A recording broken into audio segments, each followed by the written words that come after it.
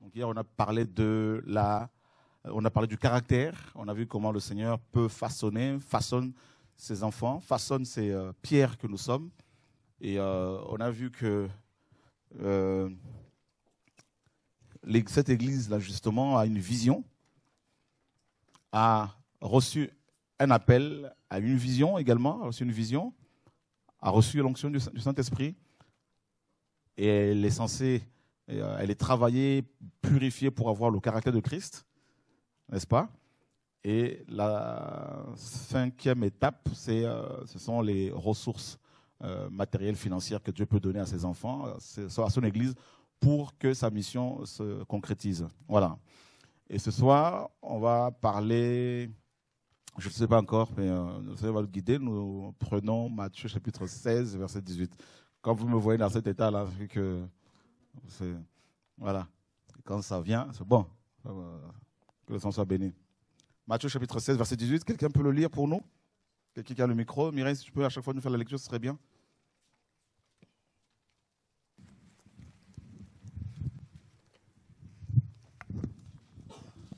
Matthieu 16, 18. Et moi je te dis que tu es Pierre et que sur ce roc je bâtirai mon église et les portes de l'enfer ne prévendront pas contre elle. Ok. Donc, on a parlé de Pierre, Petros, petit caillou.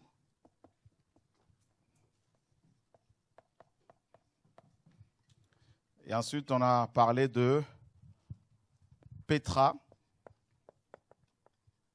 c'est-à-dire euh,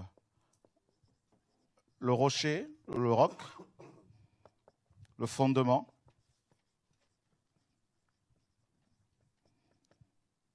Yeshua, Jésus-Christ lui-même. Et je bâtirai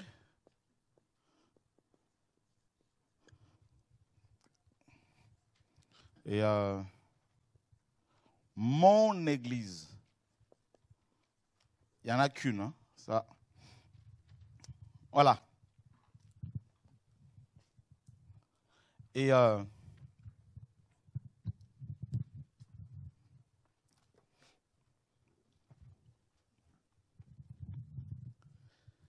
On a vu que le mot église vient de quel mot grec? Ecclésia. Il y a E et K, donc le préfixe, qui signifie hors de. D'accord? Et, euh, et ensuite, il y a le suffixe qui signifie hein, appel, clésis ou clésia. Voilà.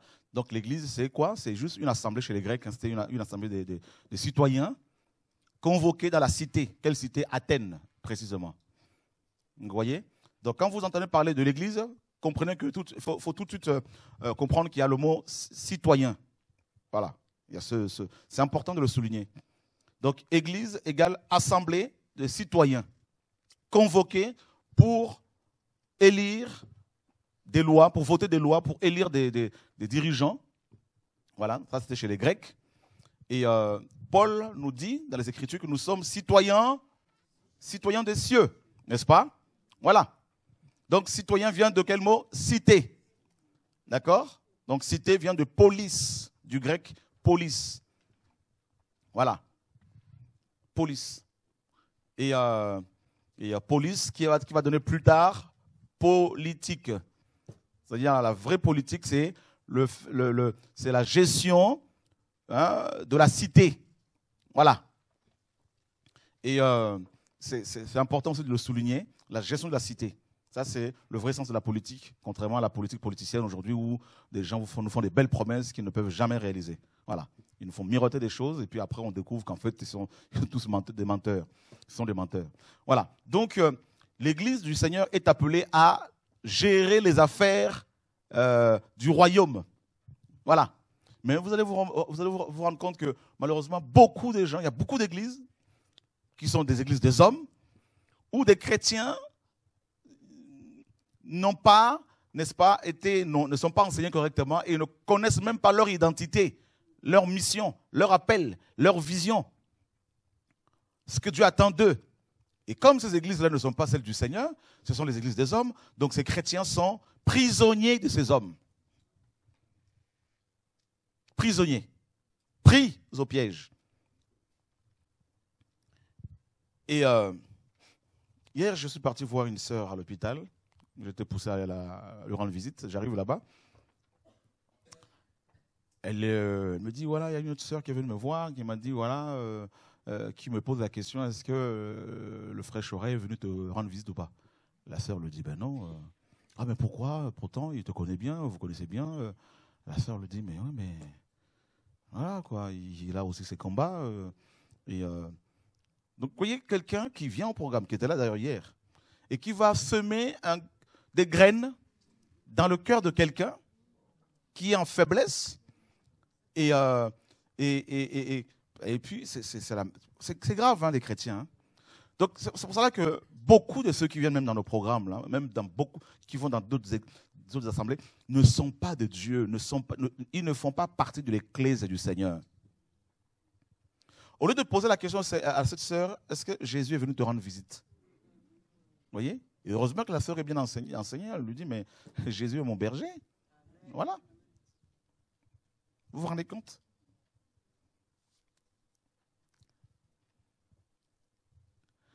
On a des problèmes. On a, et en fait, je me rends compte que la véritable église du Seigneur, là, on ne la voit pas. Voilà des gens veulent, en fait, la plupart, c'est terrible, hein, la plupart, regarde la plupart des chrétiens, ils vont te voir juste parce qu'ils ont des problèmes. La véritable église du Seigneur ne fonctionne pas comme ça. C'est pour cela que dans ces églises-là, qu'on appelle églises euh, euh, dénominationnelles, des pasteurs meurent avant, des pasteurs ben, vont avec des femmes, des pasteurs ben, prennent l'argent de gens parce qu'ils sont devenus des solutions.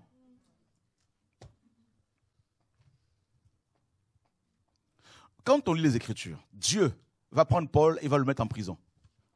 Dans Acte 21, on nous dit que Paul était en prison, ils l'ont oublié pendant deux ans. Pourquoi? Il y en a, ils vont dire, parce qu'il était persécuté. Mais Dieu est souverain, c'est Dieu qui contrôle tout. En fait, un jour, le Seigneur m'a fait comprendre, il m'a dit clairement, c'est moi qui le, le, mettais comme ça en prison pour le protéger, pour le garder.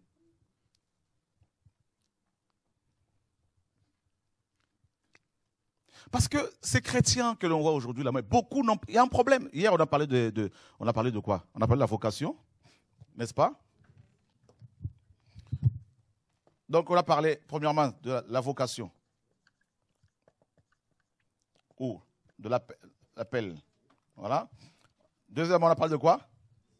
Vision. Ensuite, l'onction. L'onction, ce n'est pas forcément quand on tombe au sol c'est des moyens que Dieu nous donne pour pouvoir travailler. C'est le fait d'être euh, rendu capable, tout simplement. Ensuite, la quoi? Le caractère. Voilà, parce que j'avais entendu euh, autre chose. Le caractère. le problème de beaucoup de chrétiens, de beaucoup d'églises, c'est que ces chrétiens ne connaissent pas leur appel, leur vocation. Voilà pourquoi ils vont toujours voir des hommes. Je ne dis pas que le fait de parler de son problème à un frère, à une sœur est un problème. Non, anti-biblique. Mais ce que je dis, c'est que et, euh, quand on a, une fois qu'on est enseigné du Seigneur, une fois qu'on a reçu l'esprit du Seigneur, un chrétien qui sait que l'esprit qu'il y a dans tel frère est aussi en moi, mais il ne va pas aller en kikiner la même personne. Vous comprenez ce que je veux dire? Donc c'est ça en fait le truc. C'est-à-dire l'évangile est censé nous libérer de ce qu'on appelle l'idolâtrie, de la dépendance des hommes, tout ça. Et c'est ce que Dieu refuse, dénonce.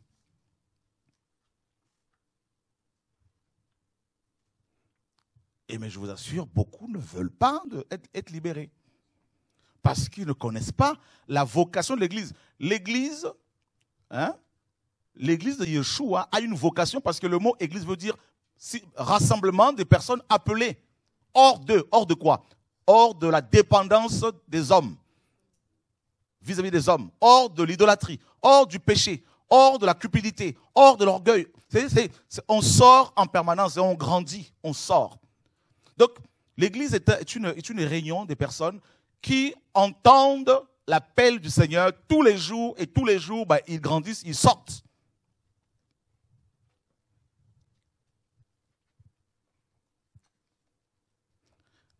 C'est pour ça qu'on parle de la vocation de l'Église. L'appel de l'Église. C'est pour cela que tous les chrétiens doivent comprendre les vrais, doivent comprendre qu'ils ont tous reçu un appel. Et cet appel, cette vocation, consiste d'abord dans l'adoration. Ça, c'est le plus grand appel, la plus grande vocation que chacun de nous a reçue. Alors, quand j'entends, quand je vois des chrétiens qui te demandent, frère, dans quel service Dieu m'a appelé, dans quel ministère? Je me dis, mais ils n'ont rien compris. L'adoration. Dieu cherche des adorateurs. Il ne cherche pas de prédicateurs. Voilà. Ça, c'est le plus grand appel. Et ensuite, cet appel consiste aussi dans la communion fraternelle des uns avec des autres. C'est-à-dire, on se retrouve là pour se construire et non pour se détruire, pour s'épuiser. Là, là c'est un mal que l'on voit dans les assemblées, où des chrétiens sont devenus des consommateurs de frères, des gens qui vont pomper les frères. Et ça, ce n'est pas correct. En fait, vous allez voir que la relation que souvent, souvent la relation que les chrétiens ont les uns vis-à-vis des autres est une relation par intérêt.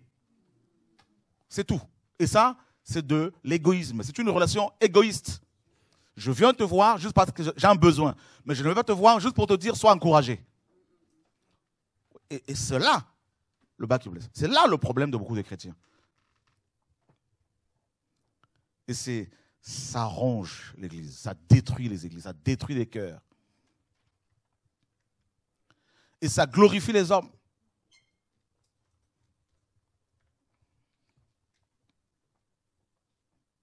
Alléluia. je me rappelle quand j'allais chez les témoins de Jéhovah. Ils n'ont pas la connaissance, la révélation de Jésus-Christ. Ça, nous sommes d'accord. Ils ont besoin de Christ dans sa splendeur. Mais ils sont tellement éduqués, tellement formés, que vous n'allez pas voir des TJ, des témoins de Jéhovah, entourer un ancien pour le, le pomper, le pomper, le pomper. Et nous qui, soi-disant, avons l'esprit, nous avons des problèmes. Nous qui avons l'esprit de Dieu, on n'a pas compris notre appel, notre plus grand appel. C'est pour ça que vous avez des, prédicateurs qui viennent de partout, qui s'appellent généraux, qui s'appellent des chrétiens qui courent à gauche à droite, parce que tu leur dis, mais vous cherchez quoi? Vous voulez quoi exactement? Qu'est-ce qu'un homme peut vous apporter que Dieu ne peut pas apporter? Voyez? Et ensuite, cet appel consiste dans l'évangélisation, c'est le témoignage auprès des gens du monde. C'est de ça qu'on va parler justement. Voilà. Et ensuite, comme on a vu, il y a la vision. C'est quoi la vision de l'Église? Quelle est la vision de l'Église selon Yeshua? Qu'est-ce que Dieu attend de l'Église? On va parler de ça aussi. La vision de l'Église, c'est, la vision est liée à l'appel. Donc la vision de l'Église, la vision première, c'est toujours l'adoration. L'Église doit avoir comme vision l'adoration de Dieu et non les idoles. L'Église doit avoir pour vision eh ben, l'édification, l'édification des uns des autres. Édifier, c'est construire. Édifier, ce n'est pas pomper, pomper, pomper, pomper, pomper. Non c'est aussi apporter, partager. Et la vision, c'est aussi, ben, c'est aller dans le monde, pas rester entre nous. Vous savez, nous sommes une église, euh, ben c'est une église congolaise. quand j'entends ça, oh non, c'est une église arabe. Vous voyez, je me dis, mais c'est quoi ça? Pourquoi ces prisons-là? C'est une église, euh, euh, je veux dire, malgache en France. Oh Seigneur. Voilà où nous en sommes rendus.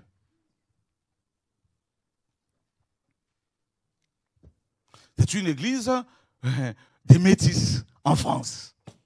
Imaginez un peu. Une église euh, camerounaise en France.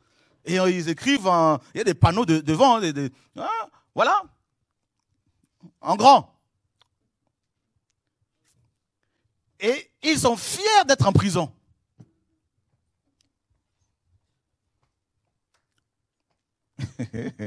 C'est comme si vous allez à Eph- hein, dans la ville d'Éphèse. hein, on dit bien l'église d'Éphèse, ok. Ce sont des noms de villes. Voilà la vision de l'église. Hmm, je vais prendre mon temps là. Il y a beaucoup d'informations qui me viennent, comme ça. là. Oh Seigneur.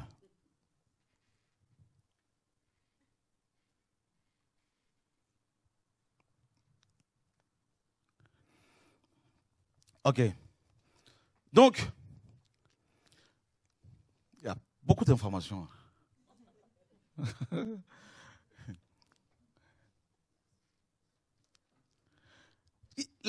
Une de conséquences, de la croix, c'est la délivrance, la liberté. Vous voyez? Et, malheureusement, la liberté par rapport au péché, par rapport aux démons, par rapport à la loi des hommes, par rapport, par rapport au commandement euh, euh, d'hommes, et euh, par rapport à toutes ces dénominations, voyez, toutes ces prisons. Et, euh, et, et- euh, et le Seigneur nous a libérés justement, il nous a libérés et nous a donné un, appel, une vision, l'onction, et il travaille notre caractère. Pourquoi? Parce que ben, on va devoir affronter hein, les gens du monde. On va de- de- devoir affronter toutes sortes de tentations, comme on en a parlé, comme on a vu hier. Maintenant, regardez bien. Il nous façonne. Il nous a façonnés. Il continue à nous façonner. Et il nous a envoyés dans le monde pour être des témoins. Mais malheureusement, nous-mêmes, nous préférons rester hein, entre nous. Non, non, ben non, moi je suis, ah, moi je suis l'église, euh, euh, euh, la manne révélée.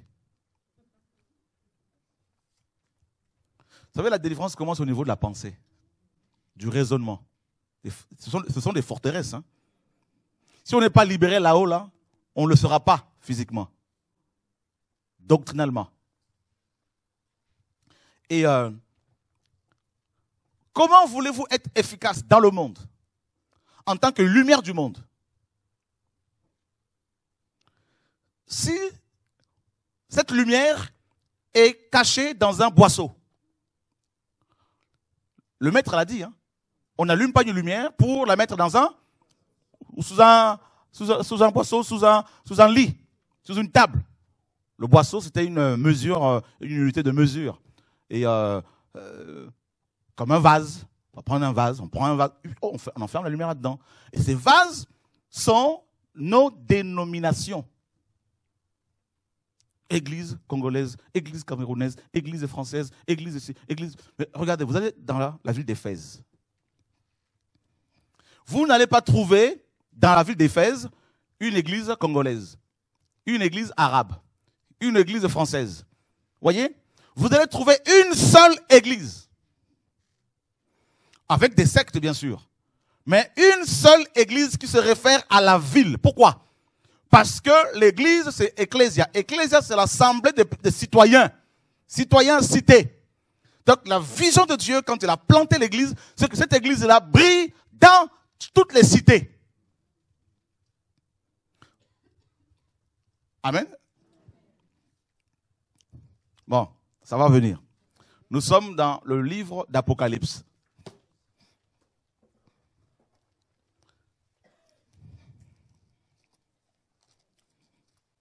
Nous, nous brillons dans nos bâtiments, dans nos maisons d'église. Et on est fiers de passer quatre heures dans la prière, l'adoration, c'est gloire à Dieu, on chante, on, se, on transpire, et à la fin, on va faire une pause café, pause gâteau, tout ça, pause thé. Hein, donc, on mange, on boit, on se fait des accolades, on est fiers, on se fait la bibise, on est content parce que le pasteur est au milieu de nous, tout ça, il est bien habillé, bien sapé, tout ça, machin, on a mangé du lachikwang, des entrecôtes, du couscous, on est, on est content. Très content. Et on a mangé du colombo. Mais quand on va dehors, on ne brille plus. Et on veut briller dans nos prisons. Tout le monde veut prier. Dans la dénomination. Moi, il faut que je démontre que j'ai la l'onction là. Oh, veille de miracle. Alors, il y aura au moins 15 prédicateurs. Chacun vient. Recevez, je sens quelqu'un ici. Je vois une. Oh. Comment s'est passé la réunion? Oh, C'était magnifique. On a fait décoller les chaises. C'était fort. Mais le même prédicateur, quand il monte dans un train, il est éteint.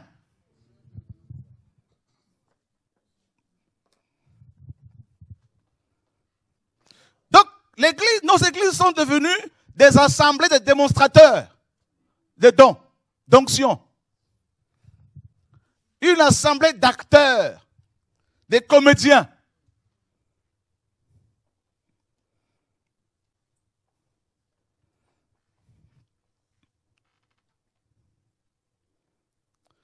Mais où est la vision de l'Église? Ben non, la vision, ben non, la vision, ben non, la vision, euh, la vision, c'est quoi? C'est d'avoir la plus grande Église de France. Non de toucher la France, mais d'avoir la plus grande église française. C'est quoi ta vision, pasteur? Moi, ben, c'est d'avoir. Euh, on va construire le plus grand bâtiment de France. Hein. Ah ouais, ouais. Ah ouais, ouais. Un jour, Dieu m'a dit considère toute la terre comme un bâtiment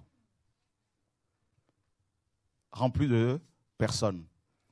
Donc, ne cherche même plus à, à construire un bâtiment pour mettre des gens dedans. Vous êtes déjà dans un bâtiment qu'on appelle globe terrestre. Ça te suffit. Sois le prédicateur de ce bâtiment-là. Waouh C'était comme une délivrance. C'était vraiment une vraie délivrance. Je dis, ben dis donc. Parce que Dieu veut faire plus, mais toi tu le limites avec les bâtiments.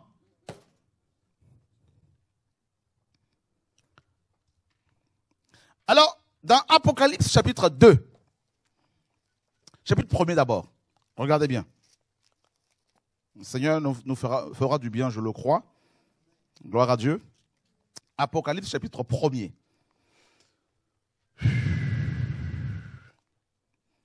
Verset 9. Moi, Jean, qui suis votre frère et qui participe à la tribulation, au règne et à la patience de Jésus-Christ, j'étais sur l'île appelée Patmos à cause de la parole de Dieu et du témoignage de Jésus-Christ.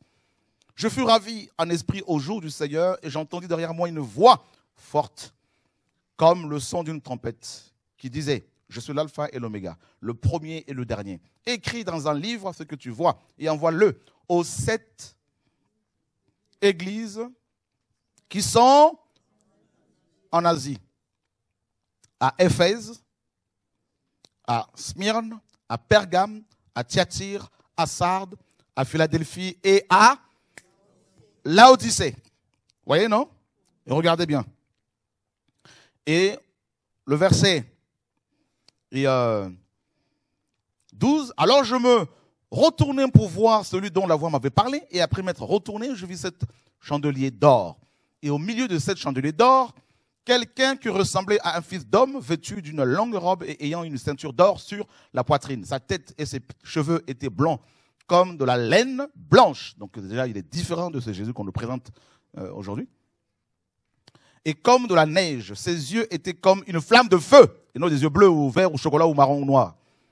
Ses pieds étaient semblables à de l'airain ou du cuivre ardent, comme s'ils avaient été embrasés dans une fournaise et sa voix était comme le bruit des grandes eaux. Et il avait dans sa main droite combien d'étoiles? Sept étoiles. Combien d'étoiles? Sept étoiles. Notez bien, étoiles. Et je veux que tu saches que tu es une étoile.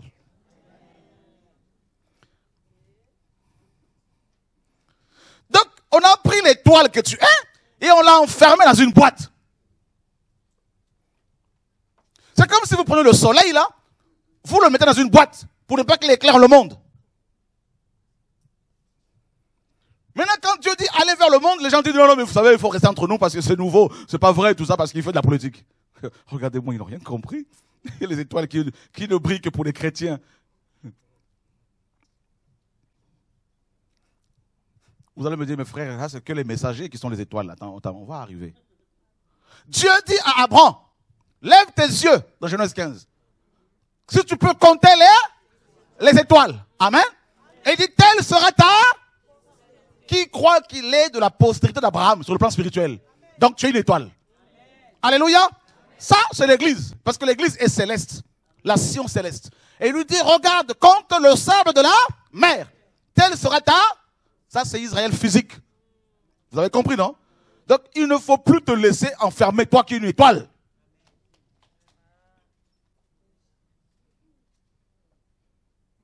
Maintenant, dites, dites-moi, quel est ce démon ou ce sorcier qui va avaler une étoile?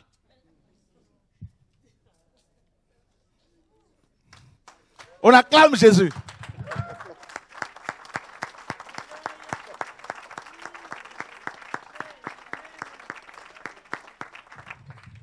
Vous avez déjà vu dans le ciel une étoile qui va embêter une autre étoile? S'il te plaît, j'ai des problèmes.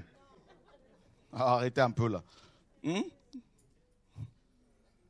On a des problèmes.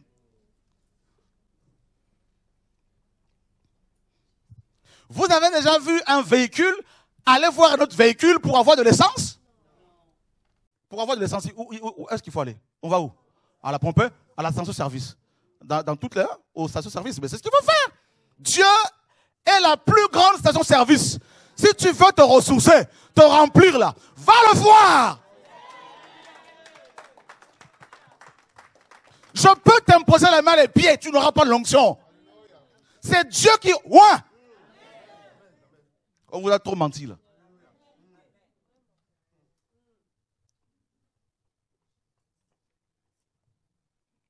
Oh Seigneur, délivre-nous. Que cet évangile soit diffusé massivement. Jésus avait les sept étoiles où? Il les tenait où? Il tient le monde entier dans. Maintenant, dites-moi, tu es une étoile. Donc, il y a le feu. L'étoile, c'est le feu. Et dans la main de Dieu.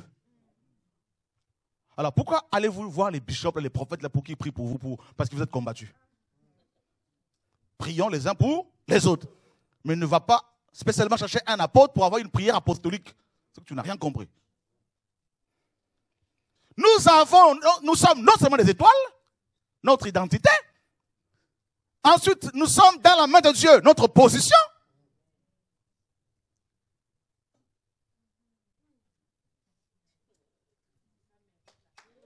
De Jésus. Alléluia. Job 10, 12 nous dit qu'il tient l'âme de tout ce qui vit dans sa main.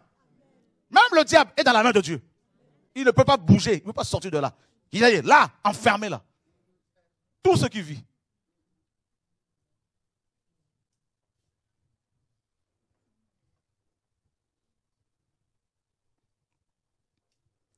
Oh Seigneur.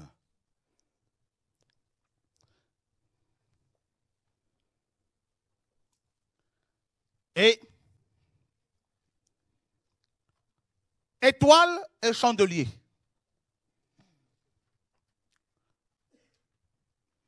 On nous parle de sept chandeliers.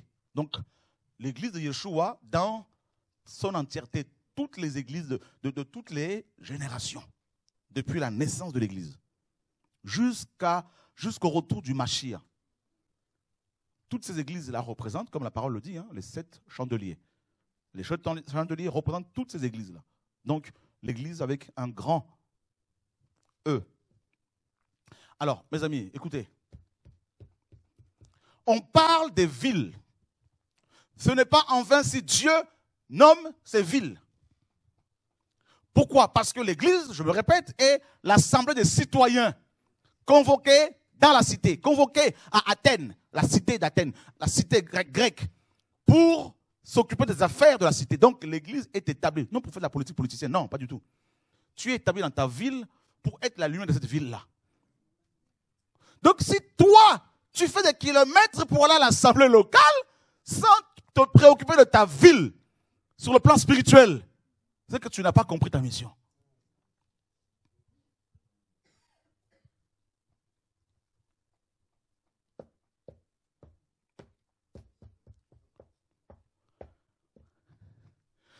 Donc, nous nous retrouvons sur Évry. On ne doit pas avoir cette mentalité de, oh, sur Évry, eh ben, là-bas, vous avez l'église euh, arabe, là-bas, l'église de noir, là-bas, l'église. eh, Jésus n'a pas fait. Savez, c'est- comme dans 1 Corinthiens 5, euh, 3. Moi, je suis pour Paul, moi, je suis pour Pierre, moi, je suis pour un. Vous voyez, vous vous rendez compte où nous en sommes rendus là? À cause de nos traditions, à cause de nos coutumes, à cause de la chair, de l'orgueil, du racisme, tout ça. Alors que tous ces murs ont été brisés, renversés à la croix. Il n'y a ni juif, ni grec, ni homme, ni femme. C'est écrit vrai ou faux? Ah. L'église est née avec combien de langues? 120 langues. Pourquoi? Dès le commencement de l'église, dès sa fondation, Yeshua a donné, a montré la vision.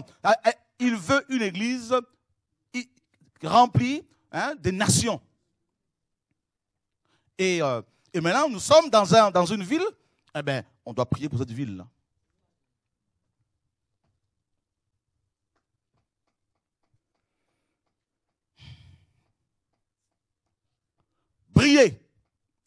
Mais vous allez voir des chrétiens dans la ville, là, quand ils sont dehors, là, ils fraudent dans les trains, certains.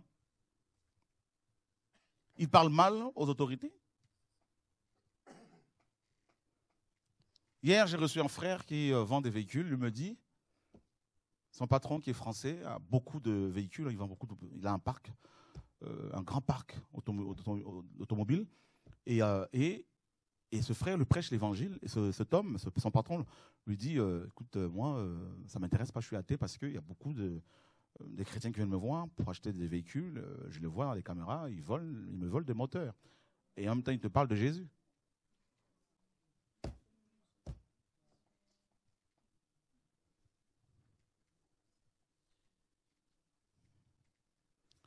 Vous êtes la lumière du monde? Vous êtes sûr? Vous mentez en même temps? Il y a un problème. Il me dit, il part voir le petit frère de son patron pour lui prêcher Christ. Le monsieur, la, la même remarque qu'il lui fait. Il dit, mais j'ai des chrétiens que j'ai embauchés, ils viennent en retard euh, tout le temps. euh, euh, quel témoignage Je suis désolé. hein. Là, on a un problème. hein.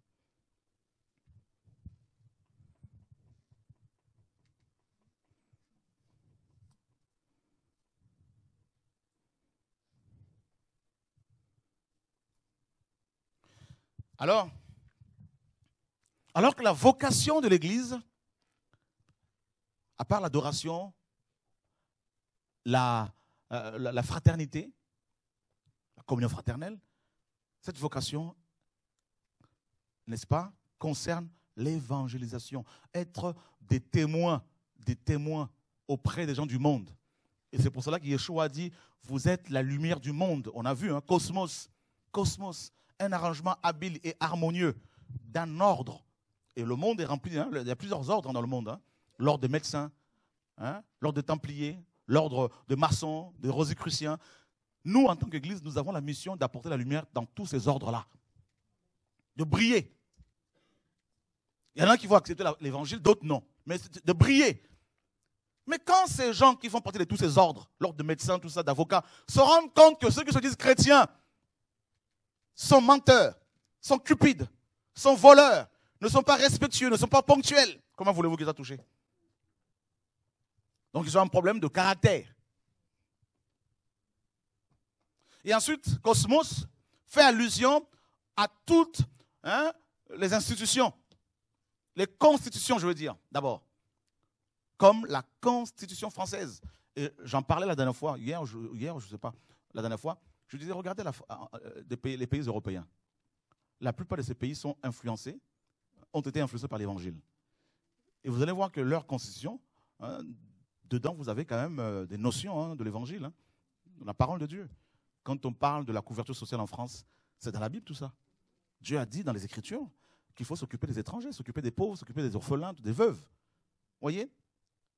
Pourtant, quand vous parlez euh, à beaucoup, hein, euh, quand vous leur parlez de Christ, la plupart ils vont vous dire qu'ils sont athées. Enfin, certains. voyez? Mais pour- pourtant, leur constitution, notre constitution française, est quand même influencée par l'évangile. C'est terrible.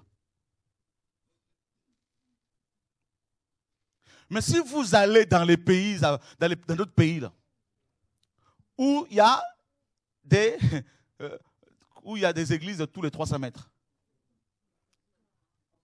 Côte d'Ivoire, Gabon, euh, euh, dans d'autres pays où il y a d'autres religions. hein, je ne sais pas, euh, vous allez voir des mosquées partout, tout ça, enfin bref, ou les églises. Regardez bien. Ils vont te parler de l'amour de Dieu. Ils vont te parler de Dieu. Ils vont faire des veillées nuit et jour. Ils vont crier dans les haut-parleurs, venez prier, c'est l'heure de la prière. Mais les orphelins, on en fait quoi? Les veuves, on en fait quoi?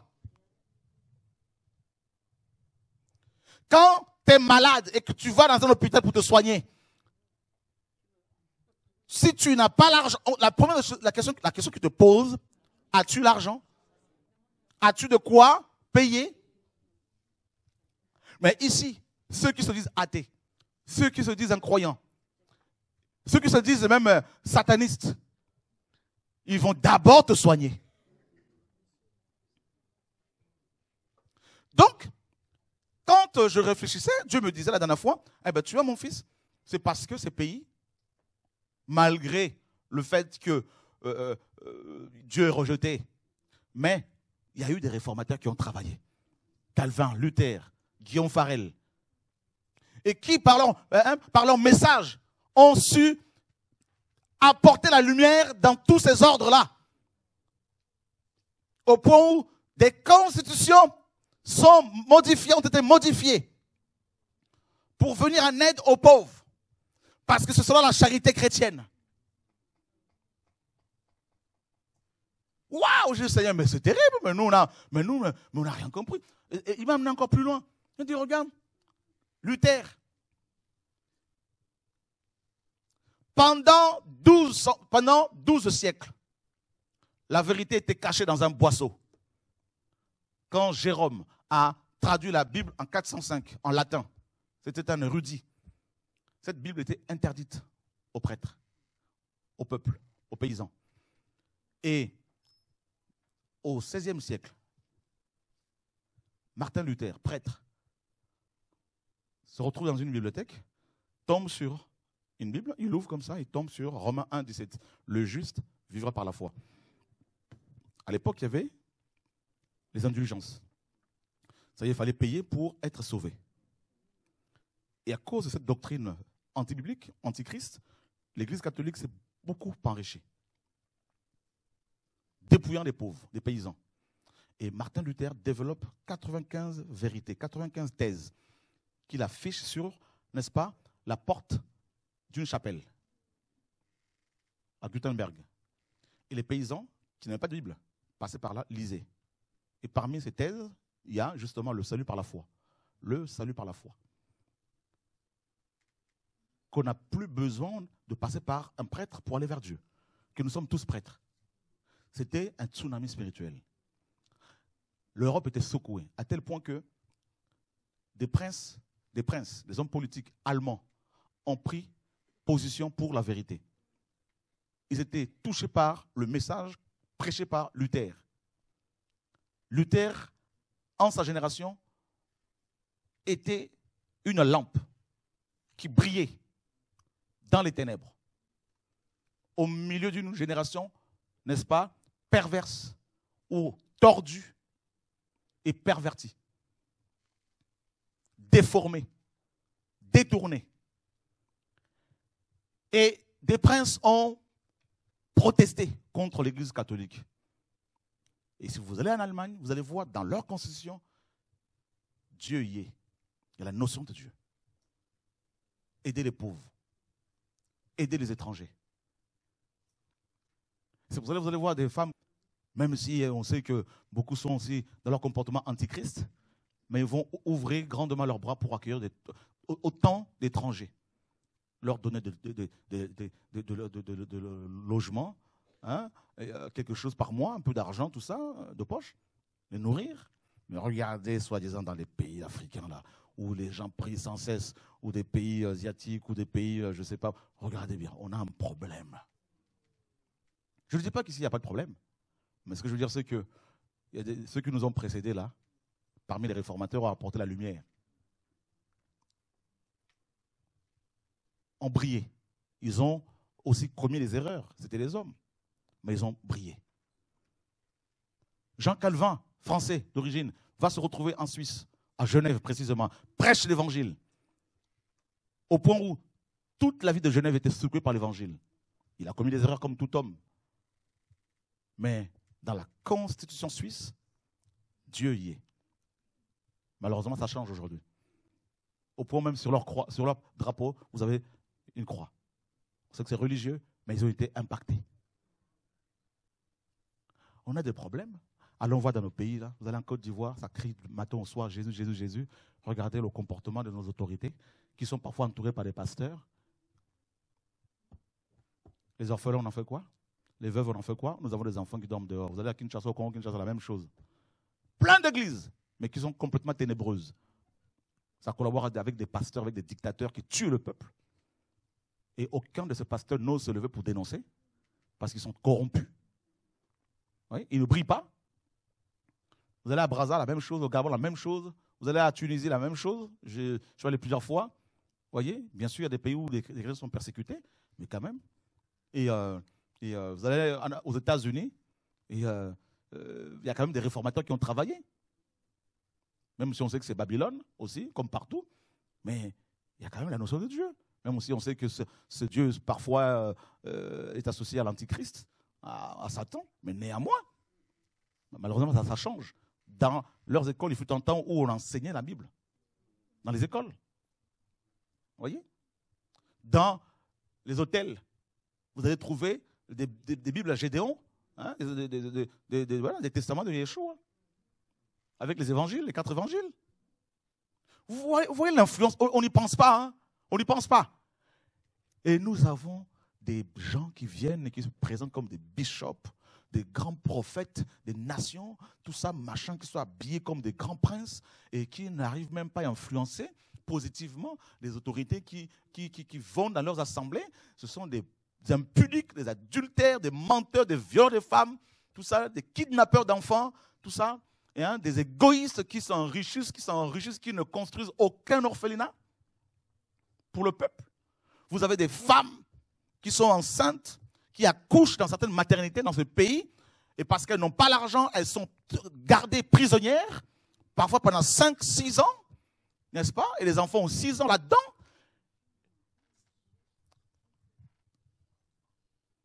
Qu'est-ce qu'on peut dire à Calvin, à Luther, si ces hommes se réveillaient aujourd'hui?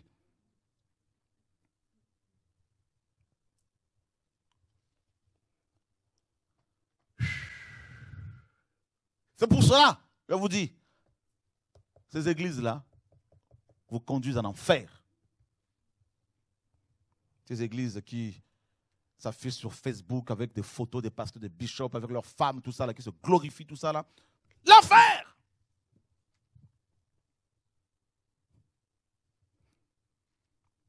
Paul arrive, dans Acte 13, il arrive sur cette île-là. Il y avait un député là-bas avec Bar Jésus comme prophète à côté, faux prophète. Paul apporte la lumière, brille et cet homme, député touché par l'évangile. Voilà l'Église, la lumière du monde. Je ne dis pas que tous les politiques vont se convertir, je dis que nous avons un travail à faire. J'allais en Côte d'Ivoire en 2006, j'allais régulièrement, et j'étais chez un pasteur. Les deux premières fois que je suis allé en Côte d'Ivoire, j'ai fait deux semaines à chaque fois. Et tous les vendredis, chez ces pasteurs, des pasteurs des grands pasteurs, selon les hommes, se retrouvaient. Ils se retrouvaient chez lui pour faire un briefing avant d'aller prier à la présidence, parce que tous les vendredis, le président, sa femme, avec ses pasteurs, avaient une veillée. Ils priaient. en même temps, le, président allait avec des femmes, était polygame, avait plusieurs maîtresses. Et la plupart de ces pasteurs que je connais personnellement étaient des vrais impudiques, ils le sont toujours. On jamais ne m'ont invité à, cette veillée. Ils me, le passage qui j'étais, qui était leur bishop eux tous là, me laissait chez lui. Parce qu'il savait, j'allais dire la, vérité au président. J'allais lui dire la vérité en face. Et regardez l'état de cette nation aujourd'hui. On n'a on a rien compris. Hein. On a cru que L'évangile, c'est quand on se retrouve entre chrétiens pour se glorifier les uns des autres, pour se congratuler, hein, pour se s'élever et pour se taper sur l'épaule. Et puis, euh, tu es un, grand homme de Dieu, ah, c'est bien. Tu es un grand prophète, ah, c'est magnifique. Tu as une grande onction, c'est terrible, une onction terrible. Ah, c'est bien. Rien compris là. Rien. Tel un serpent qui se mange, qui mange sa propre queue. Et ceux du monde vous a délaissés on courbe les chines devant ces hommes riches, ces politiques, ces généraux, ces colonels. On ne peut pas leur dire la vérité parce que c'est eux qui financent vos églises, tout ça, là, qui vous financent, tout ça. Là. Et, l'heure est grave.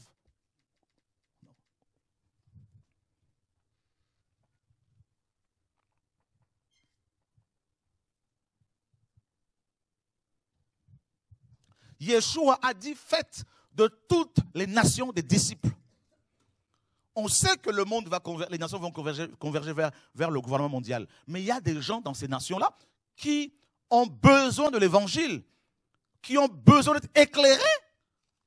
On se moque des Européens qui ne veulent pas soi-disant du Seigneur, alors que beaucoup cherchent le Seigneur, beaucoup sont sincères.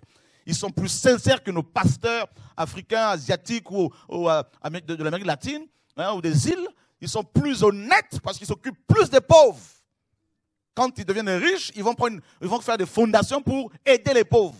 Même ne sont pas, même si on n'est pas sauvé par les œuvres, mais au moins, beaucoup viennent en aide aux nécessiteux. Contrairement à nos pasteurs, à nos chrétiens qui sont égoïstes et qui vont amasser, amasser, amasser, amasser pour eux. Hmm? Combien d'églises de réveil que vous connaissez en Afrique, en Asie, en Amérique latine, en Argentine, ici et là Combien d'églises en Asie que vous connaissez qui construisent des orphelinats?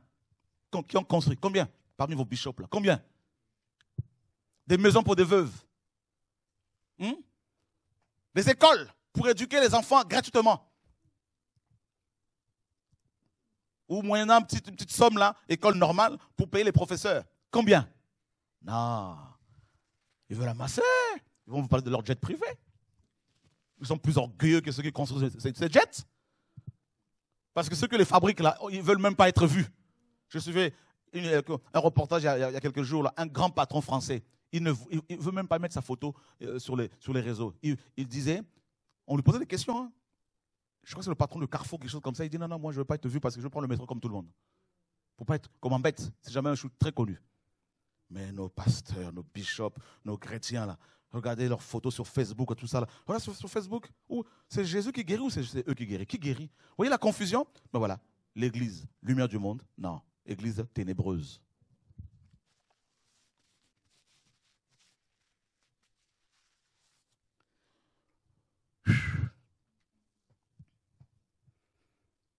Cosmos signifie aussi gouvernement. Apporter la lumière dans ce gouvernement.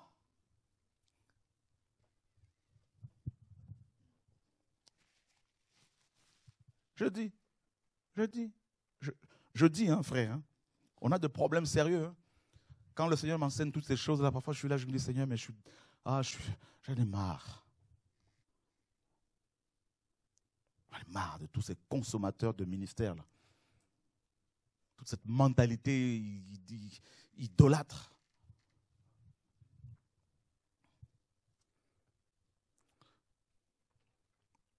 C'est cette mentalité qui veut que les chrétiens cherchent les églises alors qu'il n'y a aucun verset qui dit à quelqu'un de chercher une église. Cherchez premièrement le royaume des cieux et sa justice.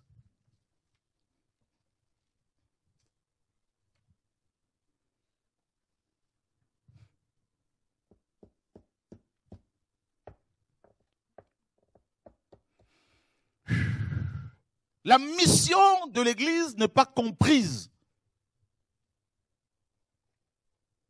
La vocation de l'Église n'est pas comprise par beaucoup. La vision de l'Église n'est pas comprise. L'onction de l'Église, l'onction de l'Église, l'onction a pour but de briser les jougs. Or, ceux et celles qui portent plus de jougs, sont les gens du monde.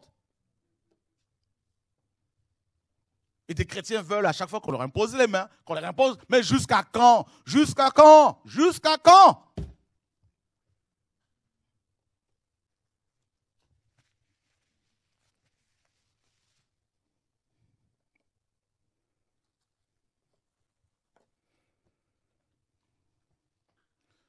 Donc vous vous rendez compte qu'il y a tous les ordres hein, qu'il faut éclairer. Il y en a qui vont se convertir, qui vont être éclairés, d'autres vont refuser. Nous sommes d'accord. Il y a les institutions, les, les constitutions, les gouvernements. Vous vous rendez compte de la charge que nous avons?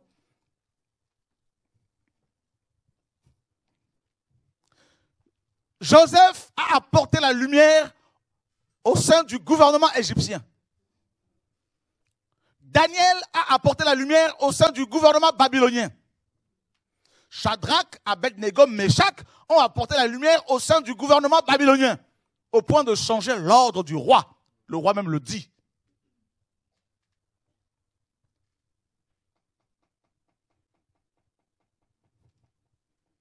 Daniel était nommé chef des magiciens.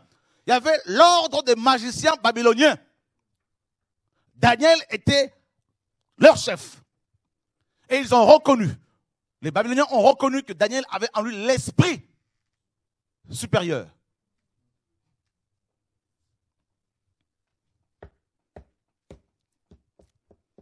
Quand vous lisez Acte 13, on nous dit parmi les gens qui étaient dans l'assemblée, il y avait aussi euh, Susa, femme de l'intendant d'Hérode.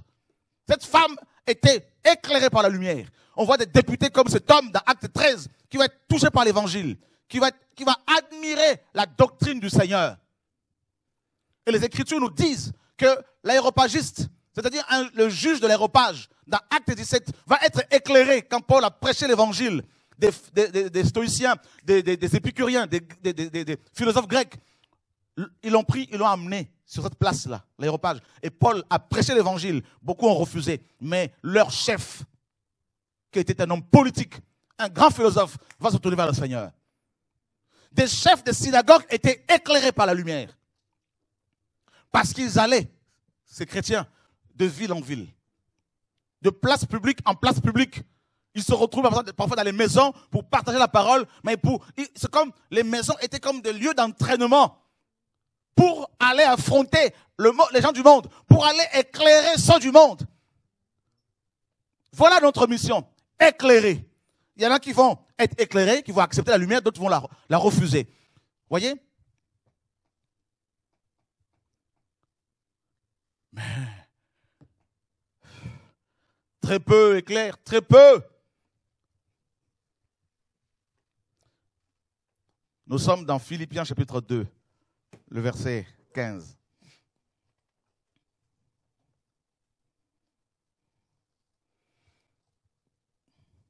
Mireille, tu peux nous le lire, s'il te plaît? Philippiens chapitre 2, verset 15. Afin que vous soyez sans reproche et purs, des enfants de Dieu irrépréhensibles au milieu de la génération corrompue et pervers, parmi laquelle vous brillez comme des luminaires dans le monde qui porte au devant de la parole de la vie. Paul n'a fait que reprendre la parole du Seigneur que l'on voit dans Matthieu 5, où Yeshua dit, vous êtes la lumière du monde. D'accord? Cosmos. Et Paul dit que nous sommes des luminaires. C'est terrible. Des chandeliers placé où? Au milieu. Ça, c'est terrible. Au milieu d'une génération. Génération ici veut dire aussi famille. Ceux qui sont euh, issus d'une même famille, hein, d'un même père. Donc Adam. Nous sommes placés parmi les descendants d'Adam, qu'ils soient noirs, jaunes, arabes, tout ça, métis, tout, peu importe. Et Dieu nous prend nous, des luminaires, il nous a placés au milieu de ces personnes-là. Et Paul décrit, n'est-ce pas, le caractère ou les caractères de ces individus qui ne sont pas en Christ, qui sont dans les ténèbres. Paul dit que ce sont des personnes, en fait, perverties, déformées. Corrompu ici vient d'un mot grec qui veut dire aussi déformé, déformé, détourné perverse veut dire tordu.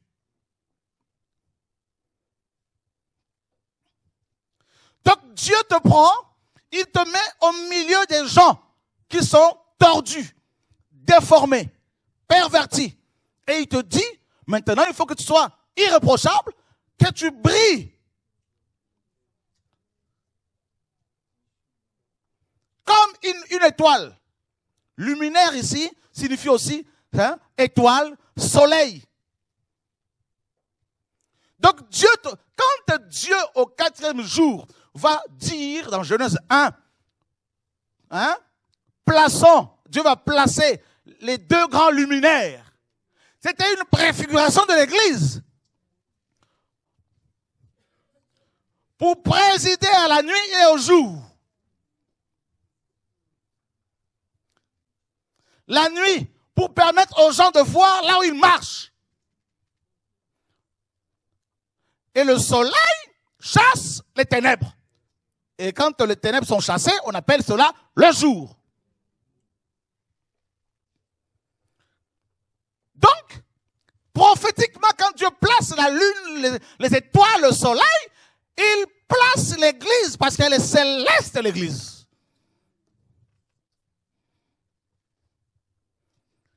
Et tu dois briller de la lumière de, Christ pour que les gens du monde aient la connaissance de ce qui est bon ou mauvais. Et ceux qui vont être éclairés, il y en a parmi ceux qui vont être éclairés, il y en a qui vont accepter de se repentir, d'autres vont, vont s'endurcir. Voilà. Mais toi, tu dois continuer à briller.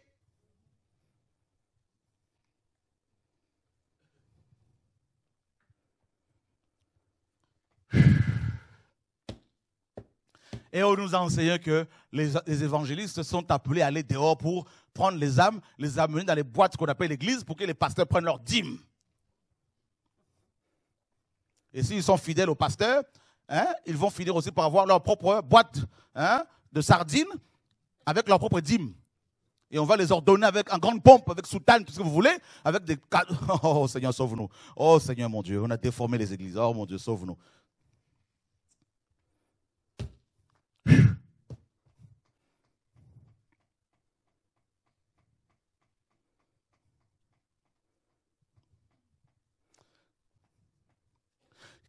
Jésus, notre maître, quand il est né, la Bible dit que les mages ont suivi son étoile. Ils ont été éclairés. Les bergers aussi, pendant qu'ils dormaient là, dehors, ils ont été éclairés. Les apôtres, à cause de la peur qu'ils avaient des Juifs, s'étaient enfermés dans la chambre haute. Quand la puissance de Dieu est descendue, quand la, puissance véritable, celle de la résurrection, est descendue sur eux, en eux, baptisés dans l'Esprit de Dieu, la Bible dit, ils ne pouvaient plus rester dedans. Parce que quand tu es rempli de lumière divine, aucun bâtiment ne peut plus te retenir, ne peut plus te contenir. Les barrières linguistiques, sociales, les barrières culturelles, les barrières raciales tombent naturellement.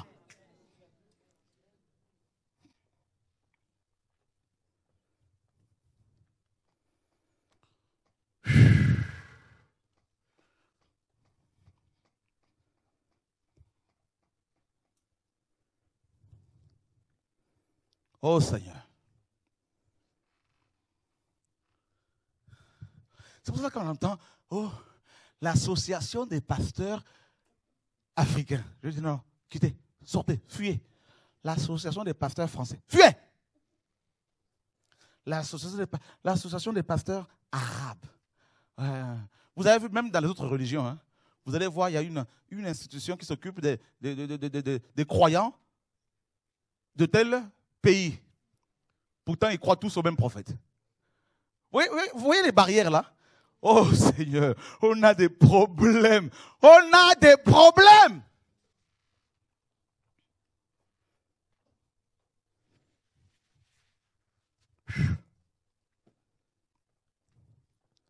Briller.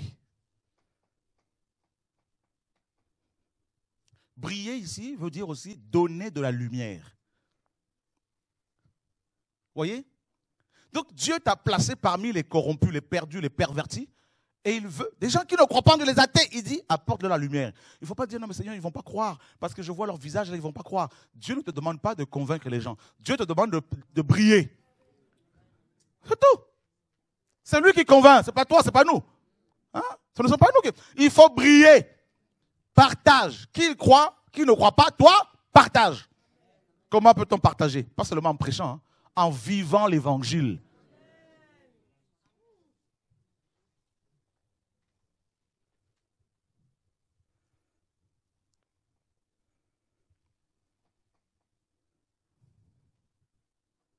C'est pour cela qu'il parle des églises d'Éphèse.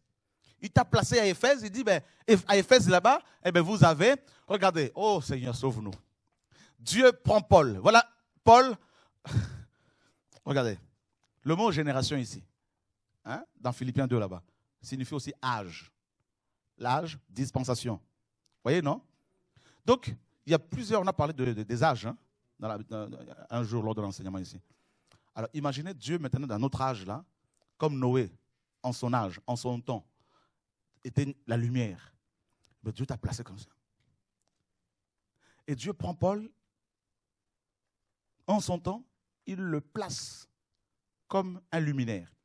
Et il lui dit, va à Éphèse. Paul arrive à Éphèse. On nous dit que Dieu faisait des miracles extraordinaires par les mains de Paul. D'accord? Et la Bible dit que on va dire de Paul, ces hommes qui ont bouleversé on ne parle pas des églises qui ont bouleversé les églises. C'est pour ça que quand j'entends un pasteur me dire quand est-ce que tu vas me pour prêcher, je dis je t'envoie euh, sur un marché. Tu veux que je t'invite à prêcher? Va sur un marché. Il y a beaucoup d'âmes là.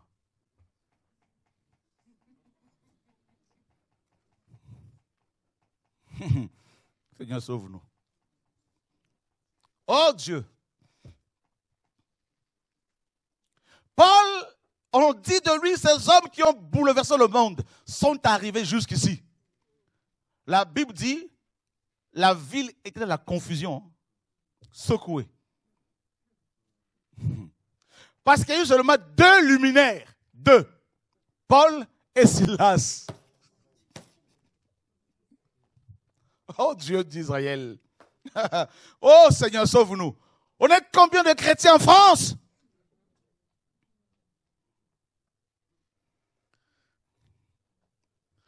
Combien de chrétiens dans un petit pays comme la Guadeloupe? Alors, ah ils sont dans leur boîte. Tous les dimanches, ils sont bien habillés. Alléluia, Amen, Alléluia. Oh. Ils attendent seulement d'être dans les bâtiments pour chanter.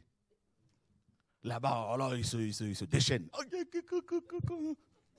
Boîte de nuit. Seigneur, sauve-nous. On a des problèmes. Et là, vous avez leurs stars qui viennent comme ça en grande pompe, porter le linteau pour que le roi des gloires fasse leurs entrées, parce qu'il n'y a plus de roi. L'homme de Dieu, tout ça, hein, on acclame le Seigneur. Ils sont fiers là, sur leur chaise en cuir, là, tout ça. Ils regardent leurs leur oeils là, et on vous a eu là. Voilà. Seigneur, sauve-nous. Et vous avez vu toute cette division dans ces boîtes de nuit. Hein? Ah oui, il y en a, ils regardent, oui, bon, celui-là, là, j'attends de lui faire un coup, un coup d'état, là. Hein, hein, hein, un coup, un coup, là, tac. Ils prennent quelques âmes. Suivez-moi. Ils quittent l'église, la manne cachée, pour aller ouvrir une, euh, autre, église, la manne révélée. pour attirer les âmes. ceux qui en sauvent de la manne. Comme ça, vous dire c'est la même manne. Mm Seigneur, sauve-nous.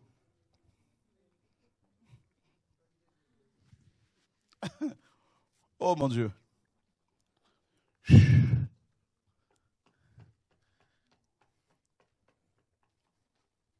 Et on vous dit qu'il faut prêcher pour amener les âmes à l'église. Donc l'évangélisation de beaucoup, là, c'est pour amener les gens à l'église. J'étais à Londres, à la fin de la, réunion, il n'y a pas longtemps. Un frère a pris le micro pour dire aux gens, ben voilà, notre, euh, on s'est réunis à tel endroit, on se retrouve tel jour. À la fin, je lui dis, viens voir. Je sais qu'il me suit ce soir. Frère que j'encourage beaucoup. Je ne fais plus ça. Je ne viens pas ici pour amener les gens dans cette église. Nous allons ici et là pour proclamer la lumière, qui est Yeshua, et c'est Dieu lui-même qui dit aux gens comment ils doivent fonctionner. C'est aux gens eux-mêmes de décider avec le Seigneur, ce n'est pas toi.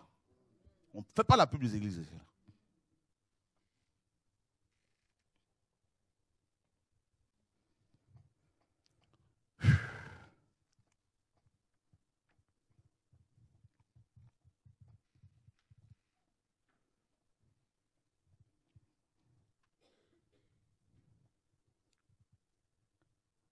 Si on compare nos églises d'aujourd'hui à celles de Calvin, Luther, alors qu'à eux, alors qu'eux, à l'époque, ils étaient beaucoup plus persécutés que nous. Eux, ils ont brillé. Ils ont fait trembler des pays entiers, secouer des nations. Nous, non, c'est l'évangile de la prospérité, vous savez. Euh, voilà. Des prédicateurs sont réduits à, à, quoi À faire du, de la comédie euh, musicale ou encore euh, du théâtre, du couscous. Voilà. Hein. Voilà, soirée couscous, on va parler du couscous. Ils sont prédicateurs. C'est comme si Paul, mes amis, faisaient des réunions comme ça. On va parler de quoi? On va parler de du pain tout ça, machin. Mais on a des problèmes sérieux. On est top chrétiens. Ils sont top. Seigneur, sauve-nous. Hmm? Enseigne-moi point, machin. Mais quand on, part, on, on apporte la parole, non, on n'envoie pas de cet enseignement-là les 150 prières pour être guéri, les 10 clés de ton miracle.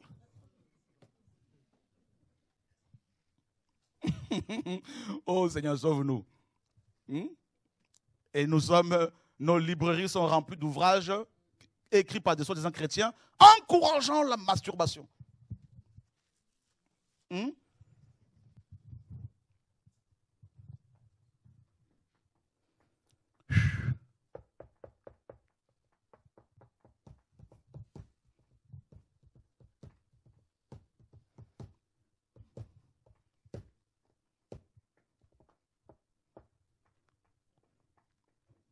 Oh Seigneur.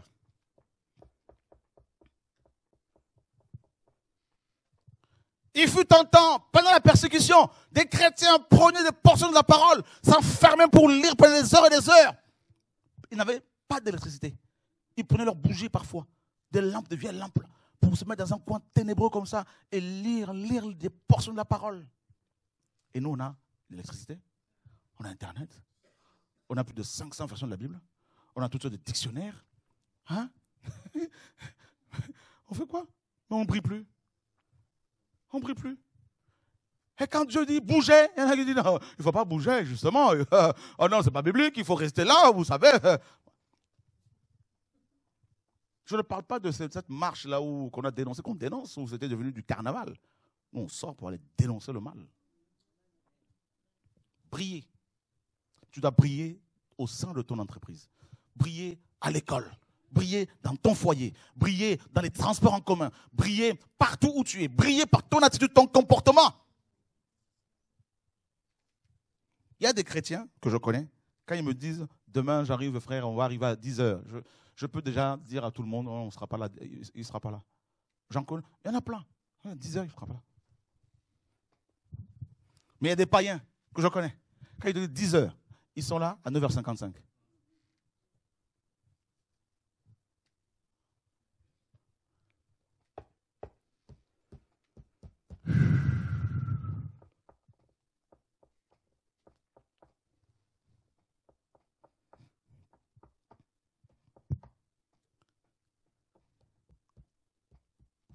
Une ville bâtie sur une montagne ne peut être cachée, ne peut rester cachée. Et le Seigneur a dit, il n'y a, rien de caché qui ne peut être découvert. On est, d'accord, hein? rien de caché. Donc ça veut dire que si tu te caches là, il va finir par te mettre un coup de pied derrière et tu vas sortir. C'est ce qu'il nous a fait à Draveil, non? On avait des beaux bâtiments à Draveil. Hein? En 2001, 2000-2001, ah, on avait, parmi les plus grands bâtiments d'Île-de-France. Il fallait voir mon bureau. Rempli de monde, hein? un, bâtiment énorme. on n'avait pas compris. Quand euh, le maire de la ville a commencé à nous faire la guerre, il voulait à tout prix nous mettre dehors.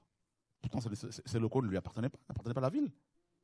On payait 4, 750 euros par mois on a eu six procès. On était bien dans, ces locaux. On se faisait du bien. Ah, il y avait l'onction, il y avait l'onction. Une belle chorale. Oh, ça. hmm. Plusieurs prédicateurs de feu. Dieu dit, si je laisse là-dedans, ils vont tous mourir. C'est comme dans Acte, hein. il leur a dit, il a dit quoi? Vous recevrez la puissance du Saint-Esprit survenant sur vous et vous serez mes, mes témoins. Vous allez rester entre vous comme ça. Dans la Jérusalem, la Judée, la Samarie et, et, ah Donc c'est une église qui bouge, une église qui marche, pas assis sur son canapé comme ça. Vous savez, regardez frères et sœurs, regardez-là.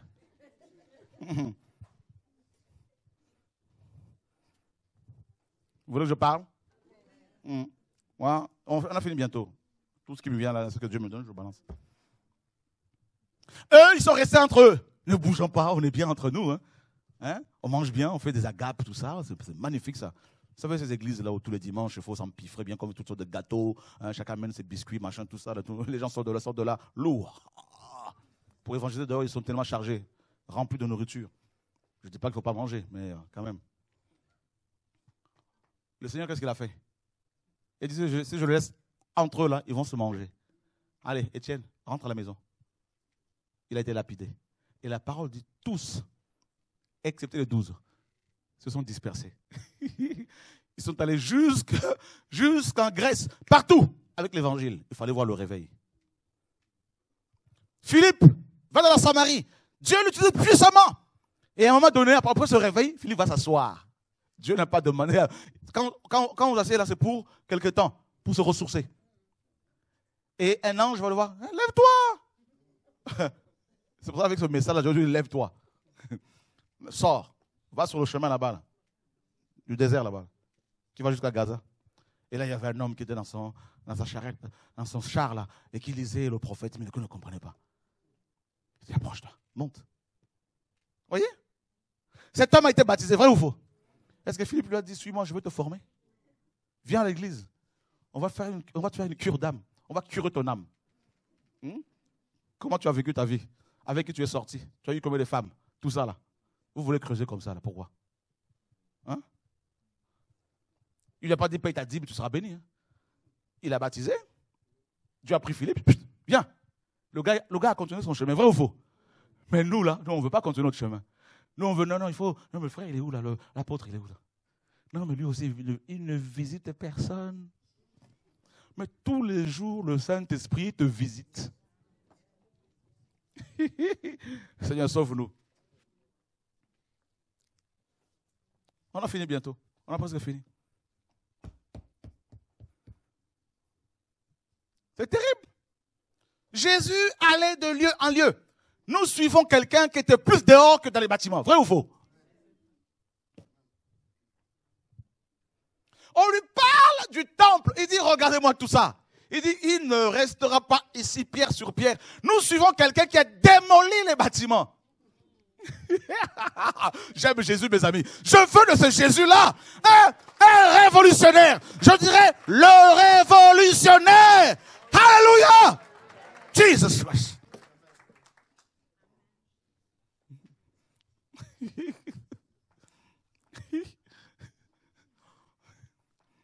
Nous suivons quelqu'un, quand il rentré dans les synagogues, tout le monde était aigri. Les chefs graissaient les dents. Alors qu'il ne faisait que lire la Torah, sans développer encore. Et les démons se disaient, qu'est-il entre nous et toi? Tu es venu ici pour nous perdre. Les démons sont à l'aise dans nos églises. Les démons sont joyeux, ils sont contents, ils sont fiers. Ils sont au chaud.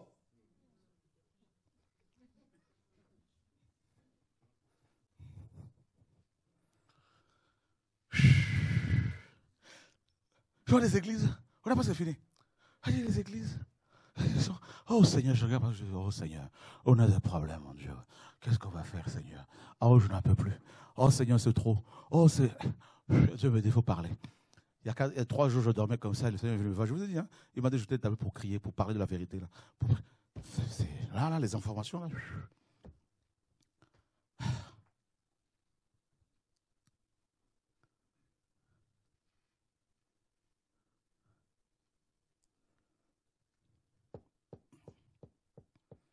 20 ans d'église, 20 ans de problèmes, 20 ans durant lesquels on va toujours voir un ancien pour parler de ses problèmes. On a transformé les prédicateurs en des, psychiatres, des psychologues. D'où la relation d'aide. Relation d'aide. Relation d'aide. La psychologie chrétienne.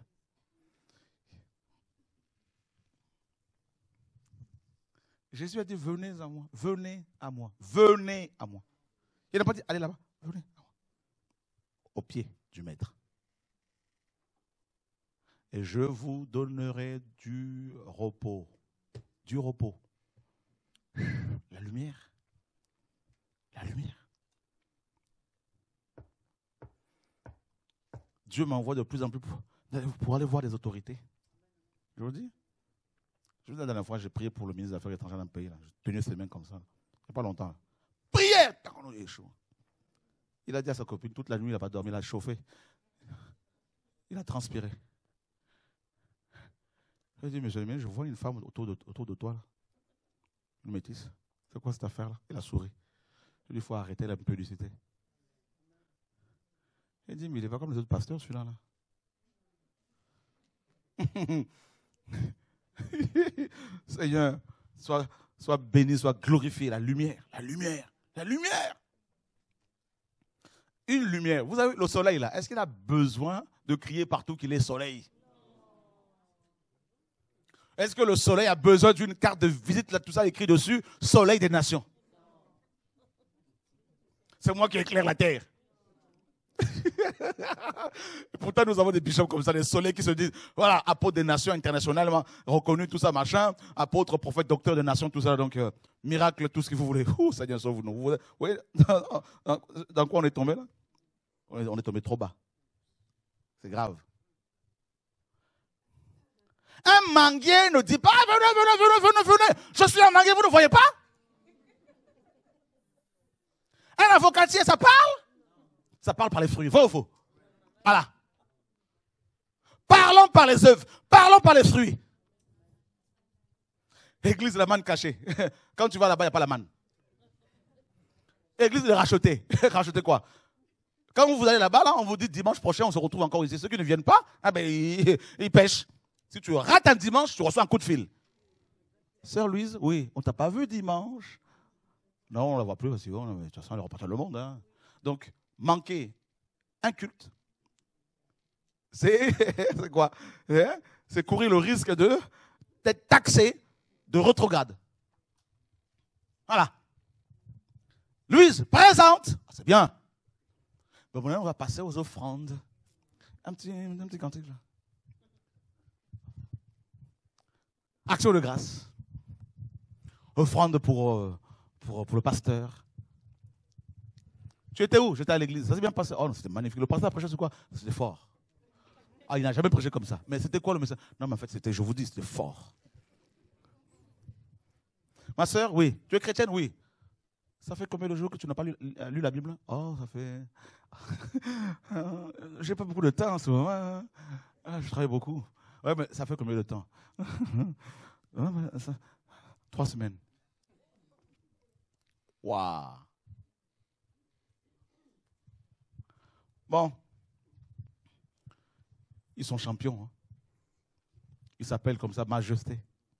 Ils sont salués comme ça, majesté. La lumière. Qui réalise qu'on a des problèmes? Qui veut briller? Et pour finir, pour briller, tu sais ce que le Seigneur fait? Le feu. Ben oui, pour dégager la lumière là. Le soleil, c'est le feu. Hein. Ah ben, il te prend, il te met dans le feu, comme Jacques le dit, le feu des épreuves. Ne viens pas me voir parce que tu es dans le feu des épreuves. Dis-moi simplement, frère, pense-moi dans des prières. Comme la parole dit, prions les uns pour les autres. il n'y a pas de problème, vais prier pour toi depuis la maison. Et si Dieu me dit de t'imposer les mains, il n'y a pas de souci, mais tu peux aussi m'imposer les mains. Mais le feu, mon Dieu, le rejet, la persécution, les calomnies, les blessures, la solitude, les pleurs, les larmes, blessé par les gens les plus proches, condamné injustement, accusé de tous les noms. plus tu pleures, plus tu es brisé, plus tu es critiqué, plus tu es rejeté, plus tu es solitaire, plus tu vas te sanctifier, plus tu vas briller. Et plus Dieu sera glorifié. Mais tu n'as pas encore résisté jusqu'au sang en luttant contre le péché. C'est que le début. Tu pensais sortir de ton désert là. C'est que le début. Là, c'est que, que, le début du commencement là. Mais après, quelle gloire, quelle richesse. Tu seras rejeté. Je parle à quelqu'un, tu seras blessé de plus en plus. Hein, tu vas prier pour que le Seigneur touche la personne, pour qu'elle change de te critiquer. Le Seigneur dit, il faut continuer. Jusqu'à ce que tu meurs, que tu meurs par rapport aux oreilles, que tu n'entendes plus, que la personne raconte. Ouh, Seigneur mon Dieu, ça va aller. Le Seigneur est vivant.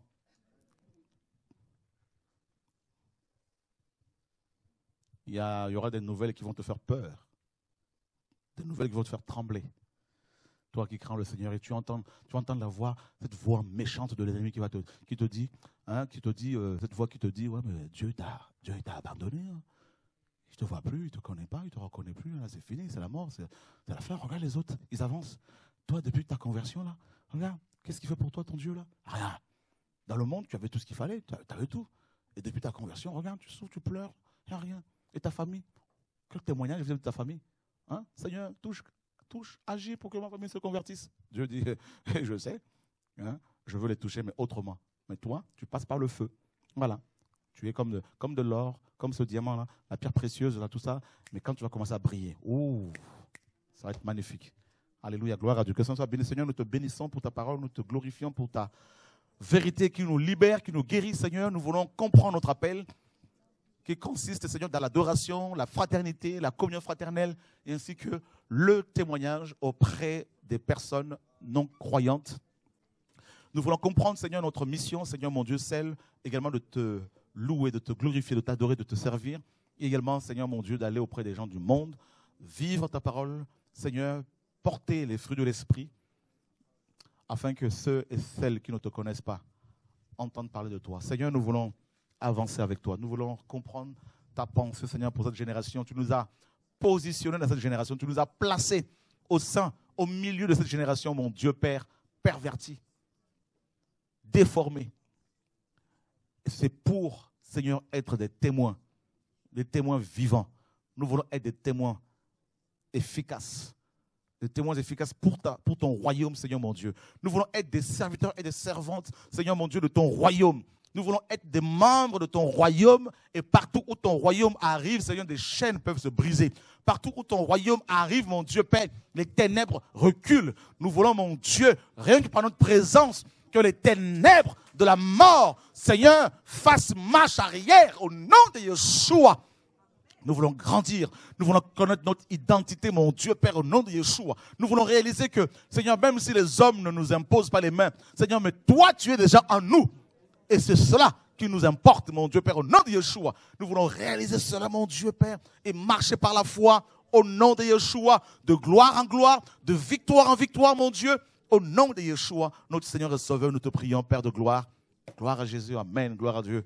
Voilà, on se retrouve demain, que Dieu vous garde.